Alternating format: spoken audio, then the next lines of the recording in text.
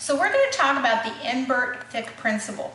This is the principle upon which Goldmann-Applanation tonometry works.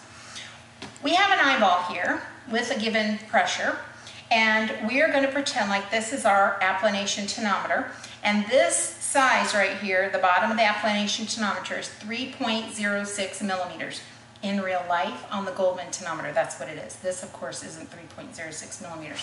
But the Imbert-Fick principle says that if the pressure is low inside the eye, it won't require very much weight to flatten the cornea 3.06 millimeters. But if the pressure inside the eye is very high, it's going to require a lot more weight to flatten the cornea 3.06 millimeters.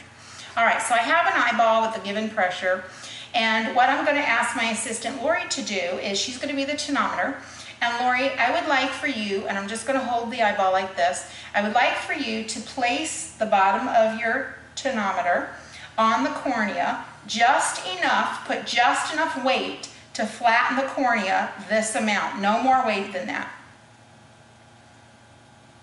Okay. All right, so on a scale of 0 to 10, 0 being no weight at all, 10 being the most weight you would have been able to put on there, how much weight would you say that you put on the cornea?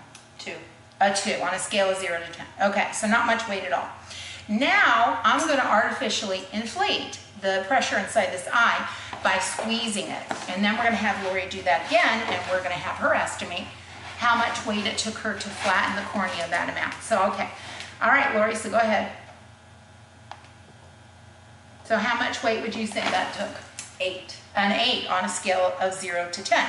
So you can see that if the pressure is very high inside the eye, it requires a lot more weight to flatten the cornea, 3.06 millimeters.